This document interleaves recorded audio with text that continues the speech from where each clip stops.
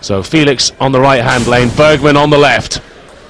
Felix looking comfortable for taking certainly third place. He's five points behind me in the overall, but it is possible Bergman could catch him here. Bergman does well, and he is. Bergman could win uh, this heat and jump up to third place overall. Certainly they both look a lot better than Terry Hollands. And Hollands will not qualify for World's Strongest Man unless Bergman has a collapse here. Felix goes through 27.53. Great time for the Brit. And Bergman still has a good amount of time here to cross the line and beat Terry Hollands. 43 seconds, 43.79. And Bergman, in his first ever international, goes to World's Strongest Man. Good job, Mark. Nice finish. You must be pleased. Yeah, I'm very happy with, with, with this finish. You know, I was looking forward to this event. I've been training very hard. Um, framework, I love framework. This is a very good event for me. and I was really well in it. Well done. We'll see you World's Strongest. Mr. Bergman. Tired? Just a little.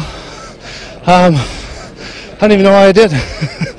uh, You did well. You did really well. I, I, I wait till the points, but I think you're pretty close. I think you're going to make it to Worlds.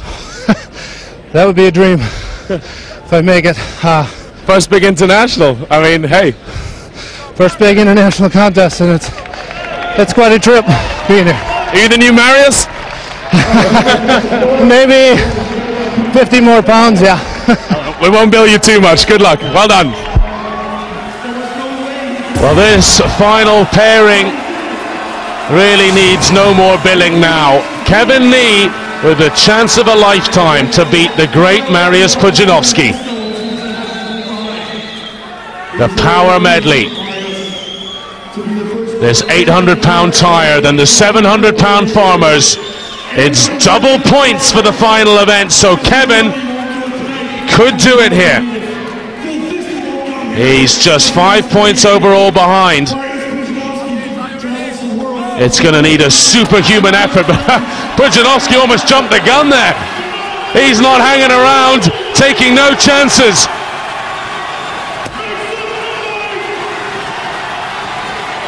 The great Pole is attacking this. He's still sprightly and leaping after five grueling events. 700 pounds. Well, he's dropped it once. I think it's the grip. That Hercules hold will have taken it out of them, but the legs are still good. And Pudzianowski takes the Mohegan Sun Grand Prix. He takes it in style. Nee goes over the line, 34.84 seconds. And he can't be disappointed. It's been an amazing performance by Kevin Nee the 21 year old pushing Pudzianowski all the way today. This year's World's Strongest Man is going to be stronger with more depth and more power than ever before. And the girlfriend loves it. But Marius Pudzianowski takes the victory just ahead of Felix in the power medley. Kevin Nee in third, Marshall White fourth, Philippi down in fifth, and you can see Hollands didn't even make it in the top six. And that means Hollands doesn't get in the top four. Pudzianowski first, Nee second, Felix third.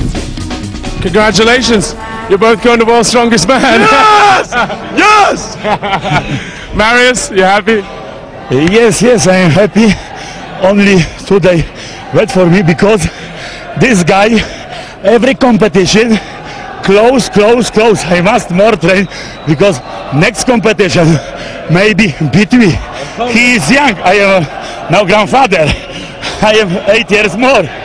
Well, old man, is this the new Marius? Hey, well done, Kevin. Feel good?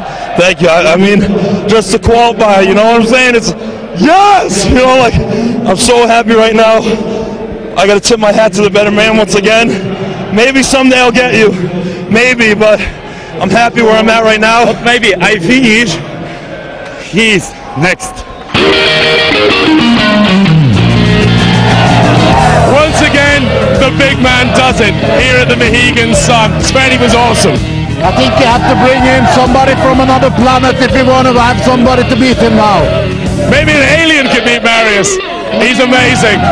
That's it from here in the Mohegan Sun. Until next time, goodbye.